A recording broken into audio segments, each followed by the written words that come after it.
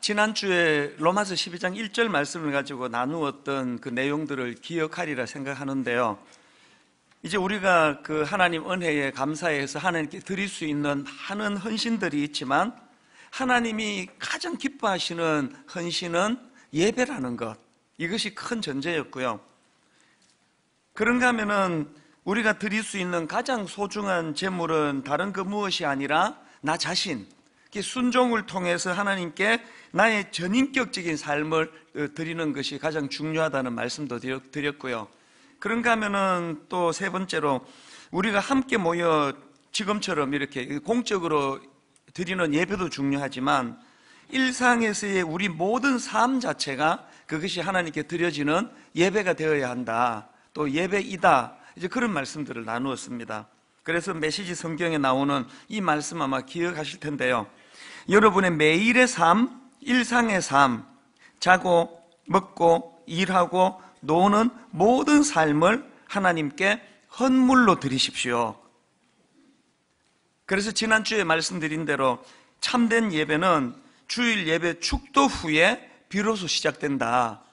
이게 참 중요한 메시지라고 말씀을 드렸습니다. 엿새 동안의 세상에서의 삶, 이것이 얼마나 소중한 하나님께 드려지는 예배가 될 수 있다는 이걸 마음에 품으신다면 이제 오늘 살펴볼 로마서 12장 2절 말씀은 그 지난주에 살펴본 이 1절 말씀의 연장이다고 그렇게 말씀을 드려도 과언이 아닙니다. 실제로 그 번역하는 과정에서 우리말 성경에서는 그거 빠뜨렸지만 원어로 보면은 2절 말씀이 이렇게 시작합니다. 접속사 카이라는 이 접속사로 2절이 시작을 하는데요. 이 카이라는 이 접속사는 우리말로 하면은 그리고 혹은 또한 이런 뜻을 가진 접속사입니다. 그래서 12, 12장 어, 2절은 이렇게 읽으셔야 합니다. 또한 너희는 이 세대를 본받지 말고 그렇게 1절과 2절이 쭉 연결되는 것이 이제 본문의 구조인데요. 이런 면에서 우리는 이 2절 말씀을 통해서 어떻게 하면은 이 여세 동안에 우리의 이 세상에서의 삶이 하나님께 드려지는 예배가 될 것인가, 예배가 되도록 할 것인가, 이런 것에 대하여 관심을 갖고 그렇게 하나님 앞에 은혜를 구해야 된다고 생각을 합니다. 이 2절 말씀을 이제 살펴보려고 하는데요. 먼저 우리가 기억해야 될 게 있는데 이 2절 말씀은 이 중요한 동사 세 개로 이루어져 있는 구절이라는 사실입니다. 2절을 한번 다시 보십시오. 너희는 이 세대를 본받지 말고 이 첫 번째 동사가 나옵니다.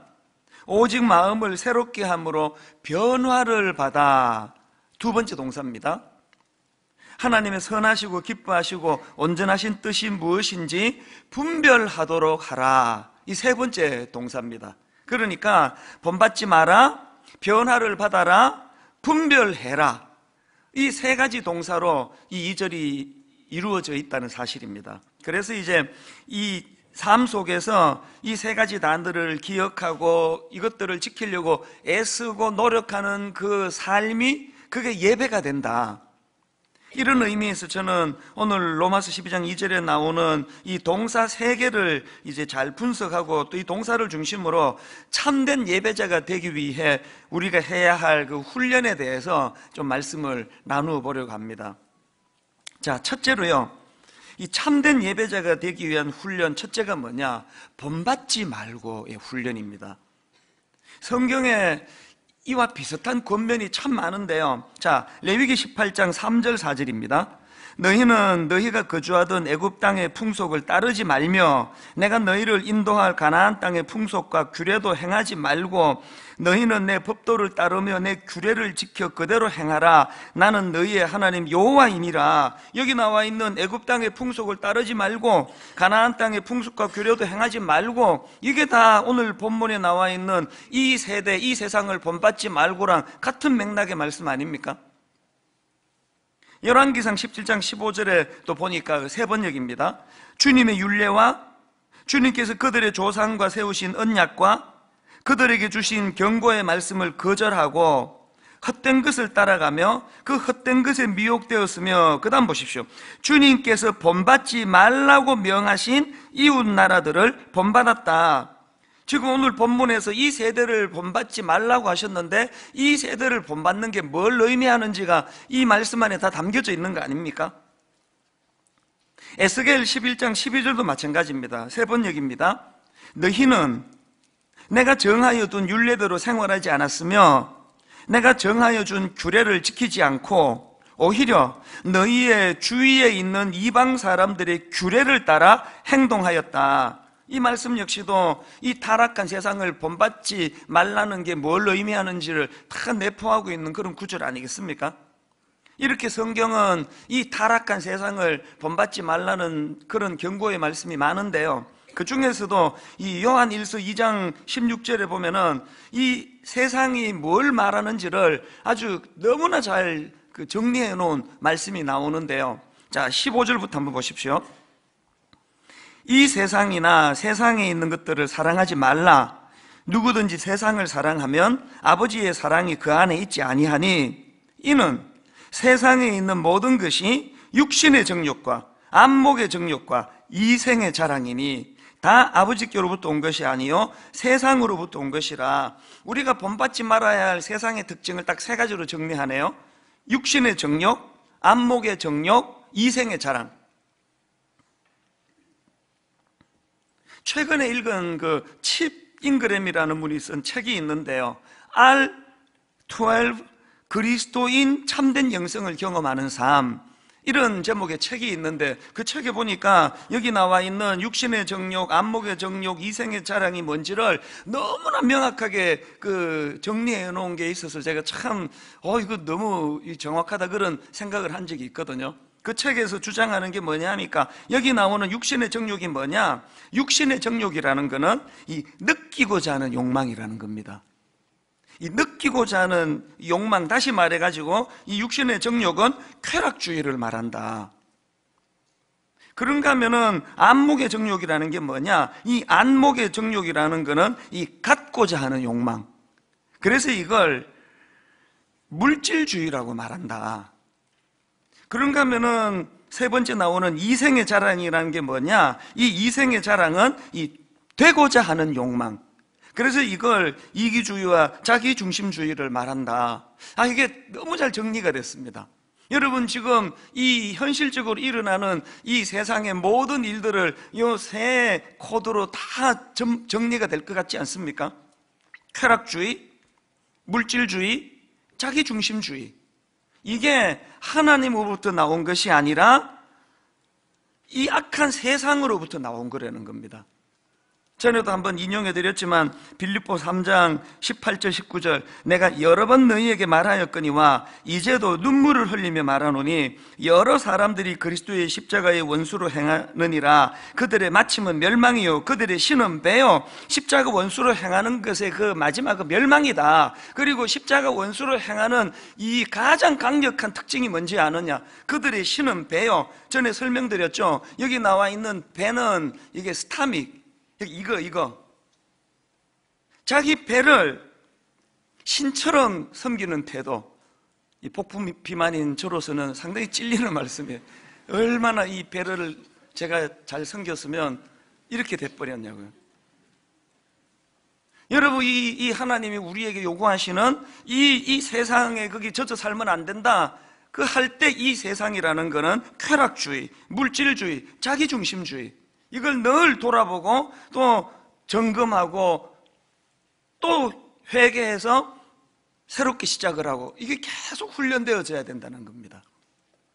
그런가 하면 두 번째로 이 참된 예배자가 되기 위한 훈련이 하나 있는데 변화를 받아 2절입니다. 너희는 이 세대를 본받지 말고 오직 마음을 새롭게 함으로 변화를 받아. 이 이절의 구조를 가만히 보니까요. 바울이 이 변화를 받아라는 이 동사를 이제 설명하면서 내가 말하는 변화를 받아가 뭔지 아느냐 그러면서 그 앞에다가 좀 이제 부연 설명을 해놓은 게 이거 아닙니까? 오직 마음을 새롭게 함으로 뭐가 변화를 받는 겁니까? 이 변화를 받아가 어떤 성격을 띠고 있는지 설명하는 거 아닙니까? 마음을 새롭게 하는 거라는 겁니다. 여러분, 하나님이 원하시는 가장 기본적인 변화는 우리 마음이 새롭게 되는 거예요. 지금 뭐, 대한민국, 지금 뭐, 여러 갈래에서 이제 변화돼야 된다. 정치도 이래 갖고는 안 된다. 경제도 이래 갖고는 안 된다. 또 교육도 이래 갖고는 안 된다. 교회도 변화돼야 된다. 많은 부분에 지금 변화를 요하는데 이 모든 변화가 가능하게 하는 마스터 키 같은 첫 출발이 뭘까요? 나 자신이 먼저 마음이 새롭게 변화되는 거예요. 나 자신이 먼저 새롭게 변화된 그 사람이 정치를 하면 그 정치가 어, 새 정치가 될 거고요. 나, 자, 나 자신의 마음이 먼저 새롭게 된 그 사람이 교육을 하면은 교육이 달라지는 거고요. 먼저 마음이 새롭게 변화된 그 사람이 목회를 하면은 교회가 변화되는 거 아닙니까? 늘 우리가 하나님 앞에서 점검해야 되는 거, 이 나 자신이 하나님 내 마음을 새롭게 하여 주시기 원합니다. 내 마음에 변화가 일어나기를 원합니다. 에베소서 4장 22절 23절에 보니까 너희는 유혹의 욕심을 따라 썩어져가는 구습을 따르는 옛사람을 벗어버리고 그 다음 보세요. 오직 너희의 심령이 새롭게 되어 세 번역으로 보니까 이렇게 번역합니다. 마음의 영을 새롭게 하여. 팀 켈러 목사님이 쓴 책에 보니까 이 부분을 이렇게 해석합니다 우리 마음을 지배하는 영향력의 방향을 바꾸라는 뜻이다. 그 지난주에 뭐그 그 뉴스 다 보셨겠지만 모 정치가가 유력한 정치가가 자기가 데리고 있던 그 여참모에게 성적으로 죄를 지, 지은 게 이게 미투 운동의 일환으로 이제 그것이 고발돼 가지고 몰락하는 그런 과정을 지켜봤습니다. 제가 놀란 건요. 이 정치가에 대한 이제 여러 기사들 가운데 어떤 글을 내가 봤느냐 하니까 이분이 2016년 자기가 쓴 책에 벌써 2년 전에 이렇게 그 잘못된 감정이나 이 행동의 위험성 이거를 그 사자성어를 가지고 그 책에다 피력을 한 거를 그 제가 그거를 보면서 어, 알고 있었네. 하기야 뭐 여러분 이렇게 그 음, 나쁜 짓 하면은 그 몰락한다는 건 그 초등학교 한 6학년만 돼도 다 아는 거 아닙니까? 그러니까 자기 책에도 막 쓰고 했지만 알고 있었지만 이분이 못한 게 뭐예요? 자기 마음을 지배하는 영향력의 방향을 못 바꾼 거예요. 뻔히 알지만 우리가 삶 속에서 계속 계속 노력해야 되는 게 뭡니까? 내 마음을 지배하는 영향력의 방향을 바꾸어야 되는데 그 바꾸기 위해서 어떻게 해야 됩니까? 누가 내게 영향을 미치는가? 나는 무엇에 영향을 받고 있는가? 톰 라이트라는 분도 이 부분을 그 주석을 하는데 보니까 오늘 2절 말씀을 설명하면서 로마서 1장 28절을 인용을 하더라고요. 또한 그들이 마음에 하나님 두기를 싫어하며 하나님께서 그들을 그 상실한 마음대로 내버려 두사 지금 이 톰 라이트가 본문 2절에 나오는 변화를 받아라는 이 말씀과 정 그 반대편에 있는 구절로 1장 28절에서 그 상실한 마음대로 내버려 두사 이걸 대비하는 의도가 뭐겠습니까? 그 마음이 죄의 기만에 어두워지고 굳어지도록 방치해 놓은 상태, 이게 그 상실한 마음대로 내버려 두사라면 여러분 마음을 새롭게 한다는 것은 뭘 의미합니까? 이제 그런 상태에 빠져 굳어 있지 아니하고 각성하고 회개하고 은혜를 구하고 그래서 이제 나는 이제 그런 굳어진 자리에 빠져 있지 않겠다. 나는 이제 마음을 새롭게 함으로 변화를 받는 자리로 나아가겠다. 이런 결단이 일어나는 것을 그렇게 대비해서 설명하더라고요. 지금 막 그렇게 수치를 당하고 있는 어느 그 문학의 사람, 무슨 정치계 사람, 이게 그들만의 문제입니까? 오늘 우리 크고 작은 삶 속에 뻔히 알면서, 아, 이렇게 하면은 이게 누적이 되면 하나님의 진노가 너무나 우리에게 심판으로 임할 거라는 것을 뻔히 알면서도 계속 끌려가는 삶을 사는 이유가 뭡니까? 알고는 있는데 내 마음을 지배하는 영향력, 이 방향도 바꾸지를 못하고 계속 내게 영향을 미치는 그것들을 끊지 못하기 때문 아닙니까? 근데 저는 이 그 동사 세 개 중에 이제 앞에 이 두 동사 본받지 마라, 변화를 받아라 이것들을 이제 시제를 살펴보고 문법을 보다가 굉장히 중요한 한 가지를 발견했는데요. 여러분 이 본받지 마라라는 단어하고 변화를 받아라는 두 동사가 공통적인 게 세 가지가 있어요. 이게 다 같이 똑같이 명령형이고요. 똑같이 수동태고요. 똑같이 현재형이에요. 어떤 의미가 있을까요? 명령형이라는 건요, 뭐 그렇게 뭐, 뭐 변화되고 뭐 새로워지면 다행이고, 뭐 안 돼도 할수 없고, 이게 아니에요. 여러분, 변화받은 그리스도인입니까? 반드시 변화돼야 돼요. 반드시 세상의 영향력 아래 놓여 있는 걸 끊어야 돼요. 명령형이에요. 선택권이 우리에게 없습니다. 그런가 하면은 여기 나와 있는 이 두 동사가 이게 수동태라는 게 뭡니까? 그렇게 우리가 노력하고 몸부림쳐서 세상을 세상에 닮아가지 않으려고 애쓰고 변화를 받으려고 몸부림치는 거 좋지만요. 우리가 늘 기억해야 되는 게 뭡니까? 내가 노력하고 내가 몸부림치지만 이 일을 가능하게 하시는 분은 하나님이시라는 사실이에요. 이를 놓치시면 안 됩니다. 그렇기 때문에 우리는 한편으로 내 의지를 다해서 노력을 해야 되지만 늘 은혜를 구해야 돼요. 그리고 내 삶 속에서 늘 그분과 가까이 또 그분에게 순종하려는 삶을 통해서 이게 이 수동태다. 이게 내가 할 수 있는 거 아니다. 여러분이 좋아하는 그 찬양이요. 세상의 유혹 시험이 내게 몰려올 때에 나의 힘으론 그것들 모두 이길 수 없네. 나의 힘으로는 제대로 부를 수가 없습니다. 이 가사를 잊으시면 안 돼요. 세상의 유혹심이 내게 몰려올 때 나의 힘으로 그것들 모두 이길 수 없습니다. 그래서 어떡합니까? 거대한 폭풍 가운데 위축된 나의 영혼 어찌할 바를 몰라 헤매고 있을 때는 그때는 어떡하라고요? 주님을 찬양하라는 게 주님은 무슨 뜻입니까? 개입시키라는 게 주님은 여기 누가 여기 그 유혹을 이겨낼 장사가 있습니까? 그런가 하면은 이게 두 동사가 다 같이 현재형이다. 이건 뭐로 의미할까요? 여러분 마음을 새롭게 하고 변화를 받는 이 일, 또 이 세상을 본받지 않으려고 몸부림치는 이 몸부림 이거는 한 번 해서 되는 게 아니라는 거예요. 현재형이 뭘 말합니까? 지속적으로 계속 이루어져야 되는 거예요.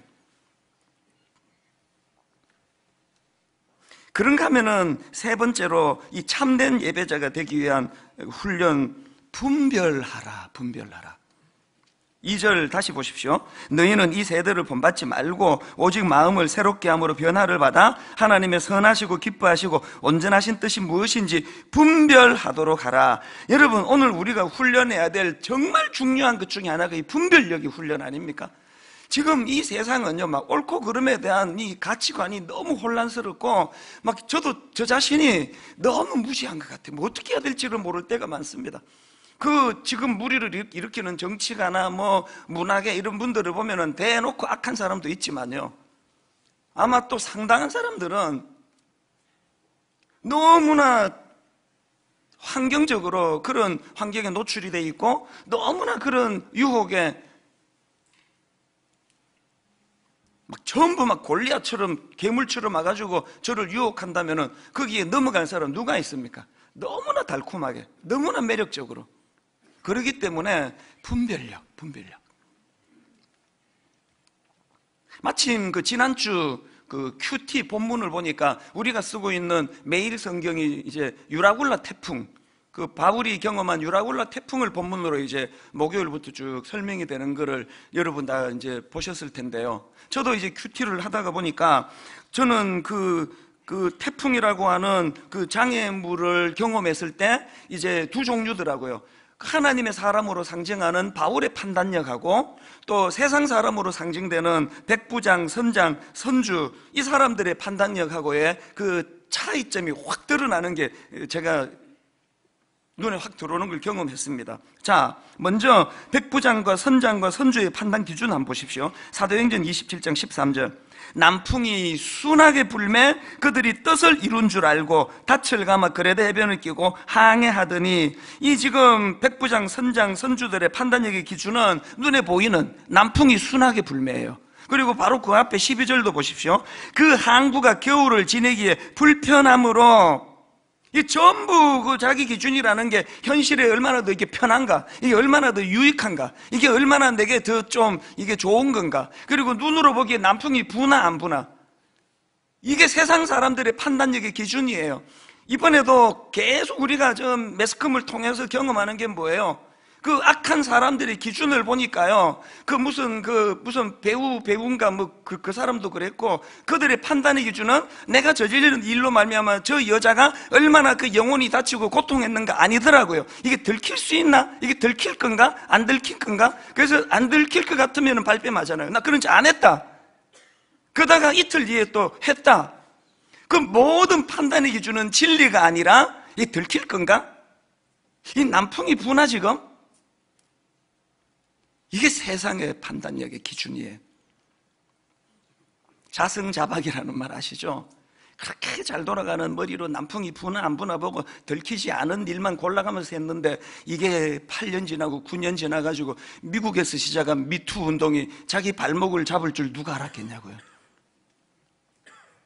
눈에 보이는 남풍이 부나 안 부나로 뭐를 결정하는 판단력은 이렇게 위험한 거예요.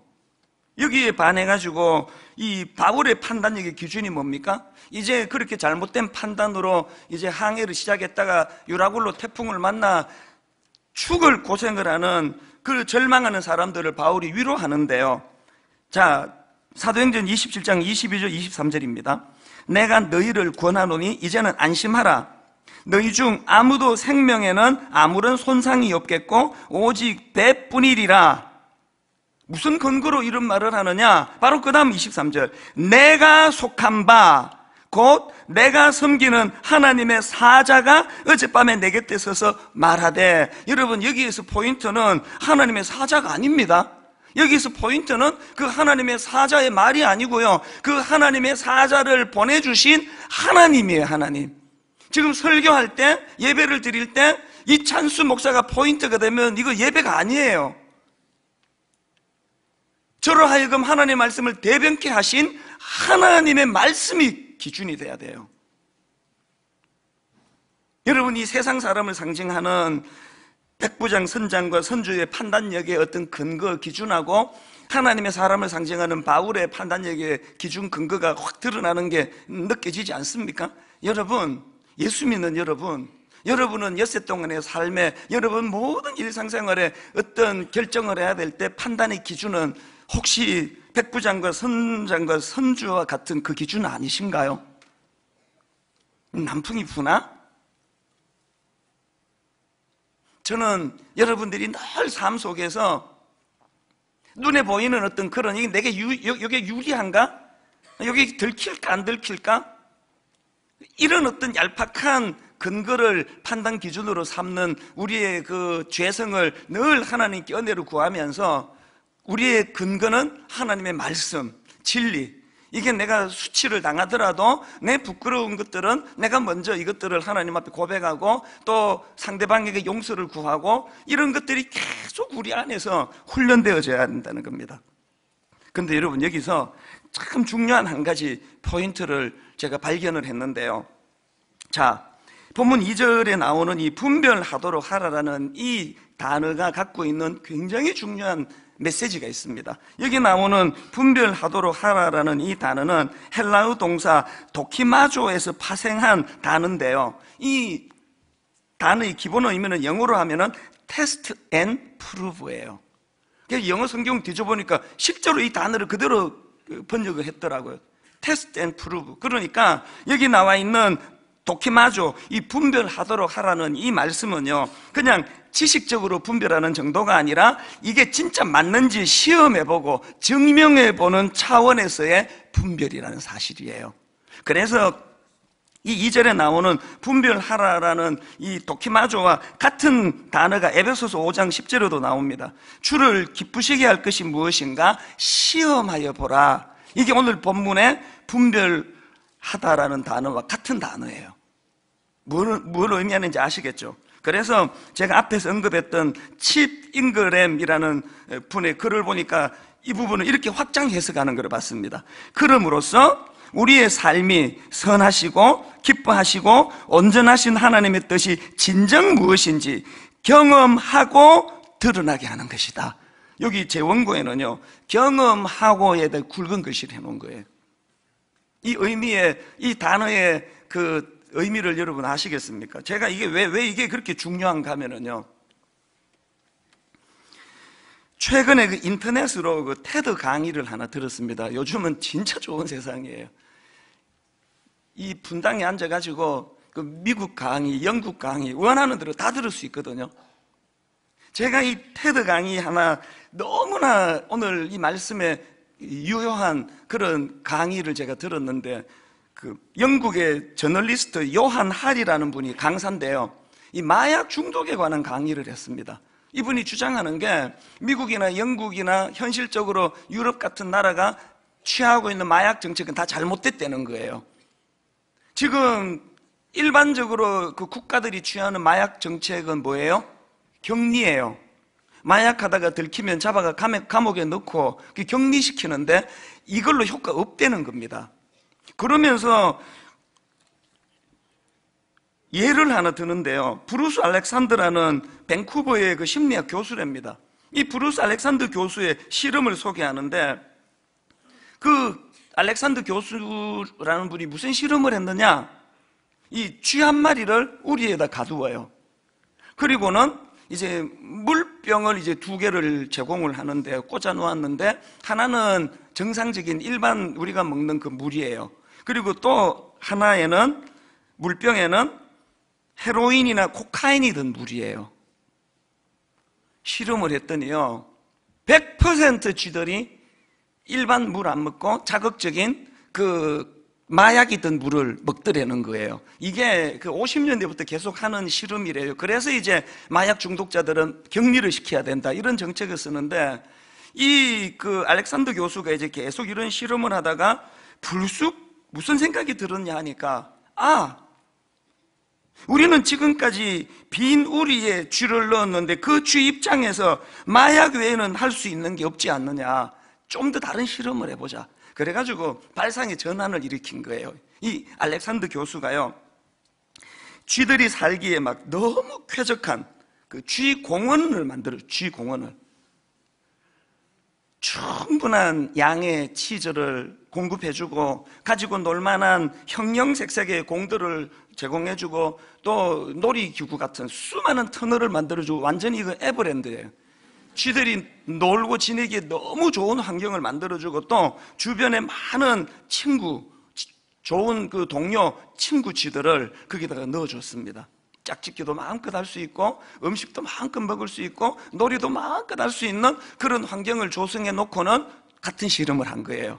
두 물병을 거기다 공급해 주는데 하나는 일반 물을 공급해 주는 물통이고요. 또 하나는 똑같이 마약이 든 그 물을 거기다가 두 개로 딱 넣어줬더니 놀라운 결과가 일어난 거예요. 아무도 어떤 쥐도 마약 물을 먹지 않더래요. 뭘 말하고 싶은지 그 좀 짐작이 가지 않습니까?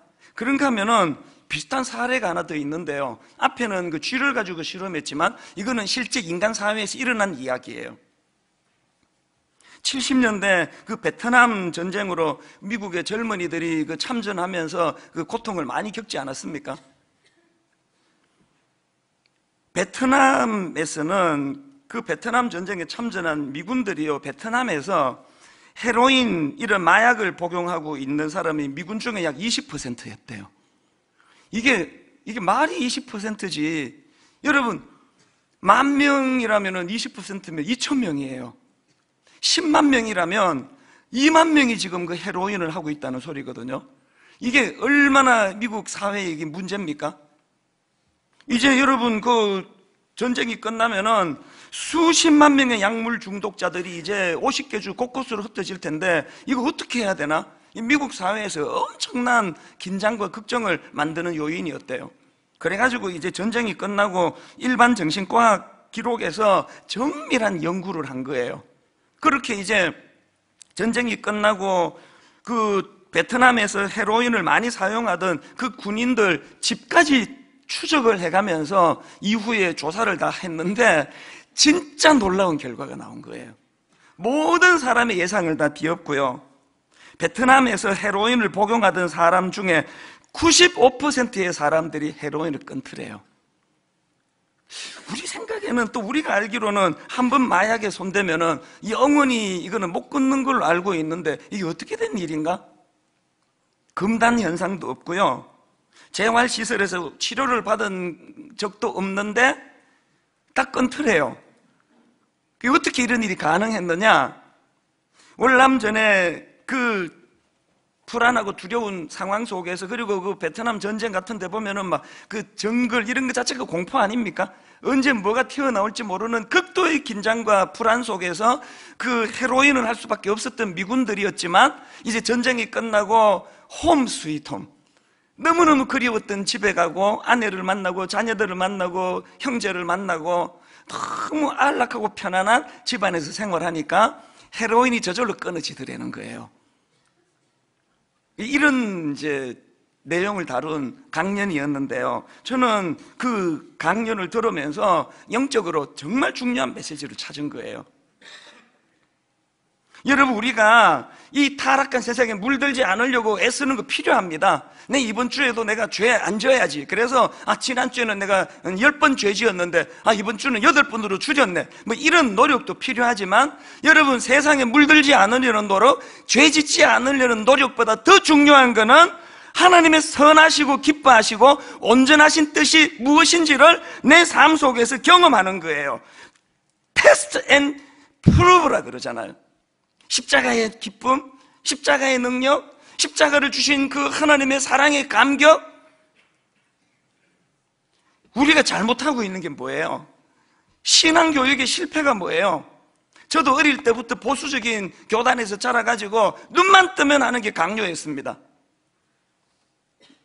예배 빠지면 안 된다. 왜 예배에 빠지면 안 되는지, 예배가 얼마나 놀라운 기쁨이 되는지 가르쳐 주는 선생님들은 별로 없었습니다. 술 마시면 안 돼? 담배 피면 큰일 나? 너 함부로 여자 사귀면 죽을 줄 알아? 그 여자를 사귀면 왜 죽어야 되는지 안 가르쳐 주고, 미투 운동 알지? 이렇게 설명을 하면 알겠는데, 다짜고짜 여자 사귀면 죽어. 그런데 억울하게 그 죽을까봐 33살까지 내 장가를 못 갔잖아요. 우리의 신앙이요. 이것도 하지 마. 그것도 하지 마. 지각하지 마. 졸지 마.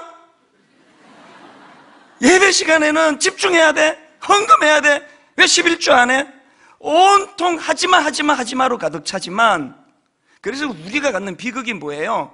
세상 사람들보다 죄 안 지려고 참고 참고 참, 못 참겠다 해버리고 해서 우리가 세상 사람과 다른 것 딱 한 걸음 뒤 늦게 하는 것 뿐이에요. 틀렸습니까? 우리가 하나님 앞에 기억하고 기억해야 되는 건 죄 짓지 않으려고 세상 닮아가지 않으려고 노력하는 것도 필요하지만 여러분 test and prove래요. 놀라우신 그 하나님의 사랑을 내 삶 속에서 맛보는 겁니다. 경험하는 겁니다. 그래서 여러분 시편 34편 8절 너희는 여호와의 선하심을 맛보아 알지어다. 서울신대 권혁승 교수님의 글을 보니까 이 구절을 이렇게 설명하더라고. 여기 나오는 맛보다 이 단어는 히브리어로 טעם인데요. 음식의 맛을 보다 이런 뜻을 갖고 있는데 이건 직접 경험을 통한 점검이나 확인을 의미하고요.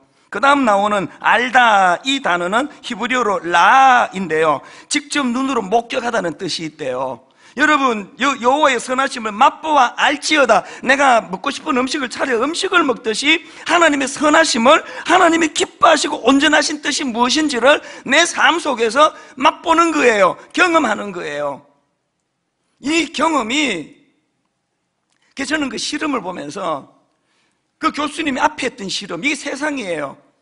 결국은 먹어야 되는 정답 물 하나 딱 주고 마약물, 달콤한 마약물 하나 딱 주고 환경 아무것도 없고 그래서 결국은 마약물 먹게 만드는 그 악한 실험, 이게 세상이 우리에게 요구하는 거예요.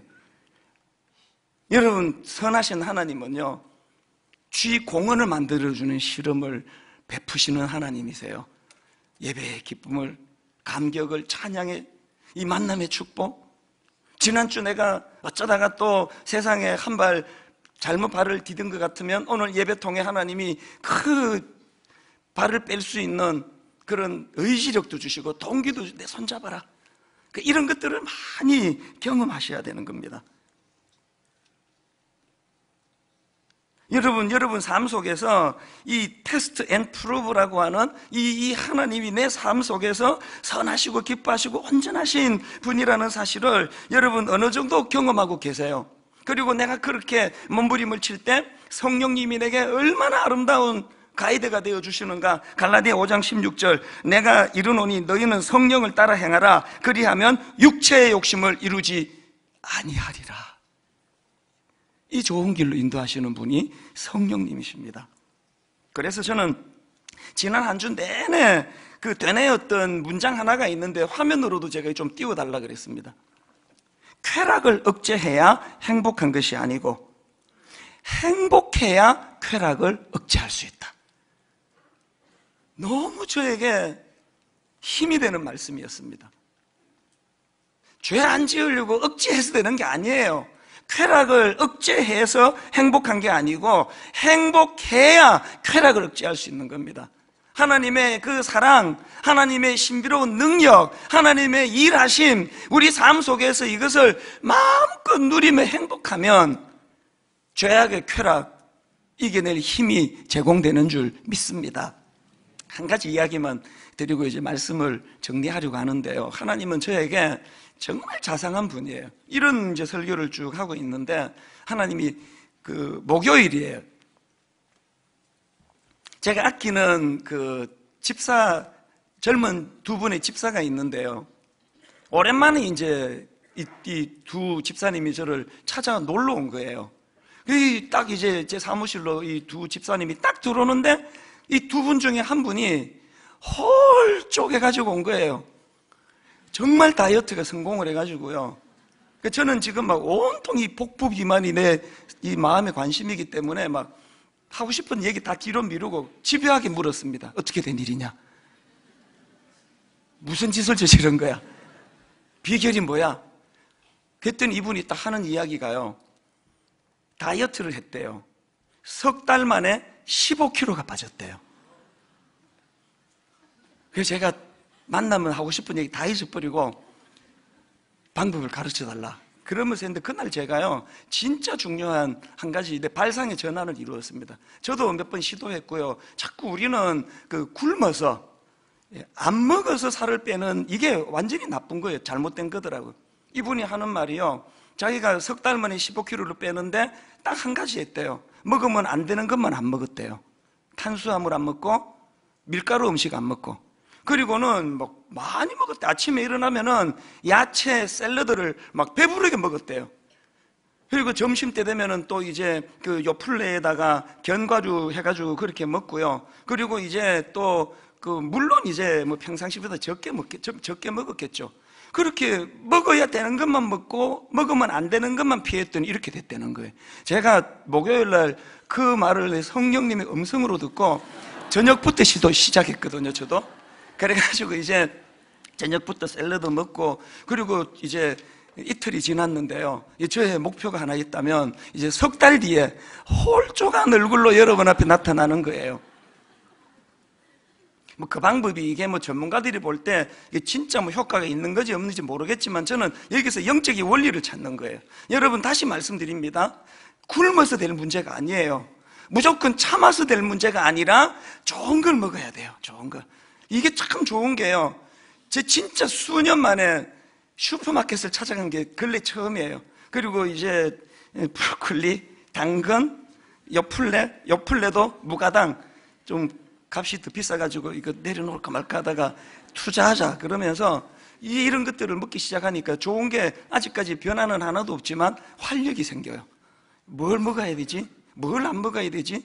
그래서 딱 제가 금요일 집에 들어가자마자 집에 있는 과자, 빵, 바로 쓰레기통에 다 집어넣습니다. 선포했습니다. 다시는 이런 거 우리 집에 들여놓지 마라. 오늘 저는 공개적으로 말씀드립니다. 저에게 그 빵 같은 거 선물하는 분은 용서하지 않을 것입니다. 웃기려고 하는 말이지만 여러분 우리가 그득그득 강조합니다. 여러분 하나님 사랑의 감격을 많이 먹어야 돼요. 십자가를 많이 묵상하면서 죄 사함의 기쁨을 많이 누려야 돼요. 하지 않는 것으로 승부를 걸어온 지금까지의 삶이라면 많은 하나님의 사랑 은혜를 경험하는 것으로 오늘 아까 불렀던 그 찬양을 오늘 그 설교의 결론으로 삼고 싶은데요. 세상의 유혹, 시험이 내게 몰려올 때에 나의 힘으로 그것들 모두 이길 수 없네. 그래서 어떡합니까? 유혹이 몰려올 때 주님을 찬양하는 거예요. test and prove. 하나님의 일하심을 기대하는 거예요. 말씀을 생각하시면서 오늘 이 찬양 우리 같이 한번 불러보기 원합니다. 세상의 유혹, 시험이 세상의 유혹 시험이 내게 몰려올 때에 나의 힘으론 그것들 모두 이길 수 없네. 모두 이길 수 없네. 거대한 폭풍 가운데 위축된 나의 영혼. 어찌할 바를 몰라 헤매이고 있을 때. 헤매이고 있을 때. 주를 찬양 찬양 손을 들고 찬양 전쟁은 나에게 속한 것 아니니. 주를 찬양. 손을 들고 찬양 전쟁은 하나님께 속한 것이니. 하나님께 속한 것이니. 거짓과 속임수로 가득 찬 세상에서 어디로 갈지 몰라. 머뭇거리고 있네. 너희는 이 세대를 본받지 말고 공중의 권세 잡은 자 지금도 우리들을 실패와 절망으로 넘어뜨리려 하네. 여러분 그때 해야 되는 일 test and prove입니다. 주를 찬양 손을 들고 찬양 전쟁은 나에게 속한 것 아니니 주를 찬양. 손을 들고 찬양. 전쟁은 하나님께 속한 것이니.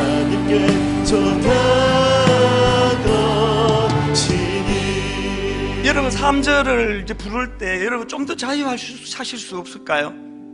여러분 좀 더 주님 안에서 기뻐하면서 test and prove 유혹이 올 때 이 유혹을 내가 물리쳐야지 물리쳐야지 가다가 한 걸음 늦게 빠지게 되는 게 그게 신앙인입니까? 유혹이 몰려올 때 test and prove가 뭡니까? 주님을 찬양하는 거예요. 주님을 인정해 드리는 거예요. 지난 일주일 내내 그렇게 끌려 세상에 끌려 다니다가 오늘 예배할 때 찬양 한 구절 내 마음에 터치가 되면 회복이 일어나는 능력을 경험하게 되는 것이 예배입니다. 더 자유하시고 더 기뻐하시며 마음이 움직이시면 손을 들고 자리에서 일어나면 또 어떻습니까? 어떤 찬양을 어떻게 드리든지 관계없이 우리가 하나님 앞에 자유함으로 한번 3절 이렇게 찬양하기 원합니다. 주위를 둘러보면 아무도 없는 듯 주위를 둘러보면 아무도 그러나 믿음의 눈을 들면 보이는 분 계시네 면 보이는 분 계시네 지금도 내 안에서 역사하고 계시는 사망과 어둠의 권세 물리치신 예수님. 여러분 그 주님을 이 시간 찬양하기 원합니다. 주를 찬양. 찬양 손을 들고 찬양. 전쟁은 나에게 속한 것 아니니 주를 찬양 손을 들고 찬양 손을 들고 찬양 전쟁은 하나님께 속한 것이니 견고한 진을 파하는 진을 파하는 강력이요. 강한 힘이요. 참으로 강하오. 견고한 진을 파하는 강한 힘이요. 성령 안에서 우리들의 무기는 육체가 아니요. 그러나 강하오. 참으로 강하오. 우리들의 무기는 육체가 아니요 선포하십시오. 그러나 강하오 성령 안에서 견고한 진을 파하는 강력이요. 강한 힘이요. 참으로 강하오. 견고한 진을 파하는 강력이요. 강한 힘이요 성령 안에서 여러분들 자유하시면서 선포합니다. 우리들의 무기는 육체가 아니요. 선포하십시오. 그러나 강하오. 참으로 강하오. 우리들의 무기는 육체가 아니요. 그러나 강하오. 성령 안에서 테스트 프루 견고한 진을 파하는 강력이요 하는 강력 강한 힘이요 강한 힘 참으로 강하오. 견고한 진을 파하는 강한 힘이요 성령 안에서 우리 다 자리에서 일어나셔서 찬양합니다. 우리들의 무기는 육체가 아니요. 그러나 강하오. 참으로 강하오. 우리들의 무기는 육체가 아니요. 그러나 강하오. 성령 안에서 아멘 진을 파하는 강력이요. 강한 힘이요. 참으로 강하오. 견고한 진을 파하는 강력이요. 강한 힘 우리 마지막으로 한 번 더 더 힘있게 선포합니다. 우리들의 무기는 육체가 아니요 그러나 강하오. 참으로 강하오. 우리들의 무기는 육체가 아니요. 그러나 강하오. 성령 안에서 아멘. 아멘. 진을 파하는 강력이요. 강한 힘이요. 참으로 강하오 강력이요 강한 힘이요 성령 안에서 이 축도 끝나면은 새로운 예배가 시작되는 거 아시죠? 하나님 이 한 주간 죄 안 지으려고 노력할 것입니다. 그러나 그것으로 끝나는 게 아니고 정말 test and prove 하나님의 강력하심을 내가 맛보기를 원합니다. 의지를 가지고 하나님께 은혜를 구할 때 수동태라고 하는 게 뭐라 그랬습니까? 하나님이 일하십니다. 하나님이 일하실 줄 믿습니다. 우리 이 확신을 가지고 우리 통성으로 죄를 끊을 수 있도록 세상을 끊을 수 있도록 악한 세상을 우리 한 목소리를 같이 기도하시겠습니다. 살아계신 하나님 아버지 견고한 진을 파하는 것 성령의 능력이요 하나님의 주도하심이요 복음의 능력인 줄 믿습니다. 강력한 진을 파하는 그 강력하신 하나님 아버지를 믿습니다.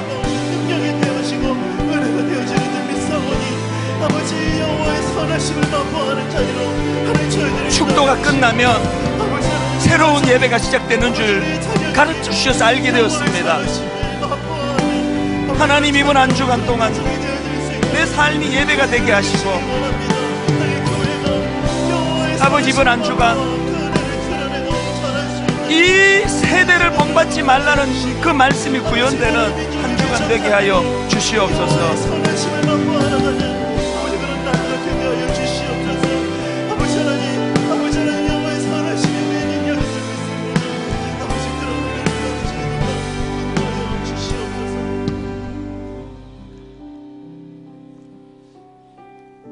너희는 이 세대를 본받지 말고 오직 마음을 새롭게 함으로 변화를 받아 하나님의 선하시고 기뻐하시고 온전하신 뜻이 무엇인지 분별하도록 하라.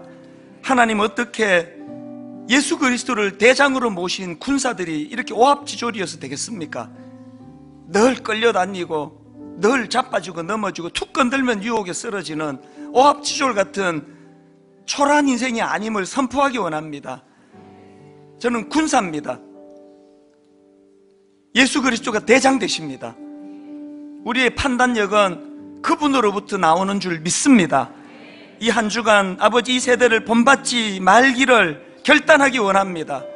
이 한 주간 이 세대를 본받지 않으려고 결단할 때 하나님 하나님의 선하시고 기뻐하시고 온전하신 뜻이 무엇인지 test and prove 분별하기를 원합니다. 더 좋은 것 누리기 원합니다. 각종 신령한 은사를 경험하기 원합니다. 자기 아들 예수 그리스도를 우리를 위하여 내어 주시니가 뭐가 아까워서 우리를 위하여 주- 내어주지 않으시겠느냐는 이 확신을 가지고 이번 한 주간 너무나 아름다운 너무나 기쁜 내 삶이 가나 혼인잔치의 잔치집 같은 포도주가 떨어져 절망할 때 물을 포도주로 바꾸어 주시는 주님을 경험하는 것 같은 그런 한 주간 되게 하여 주시옵소서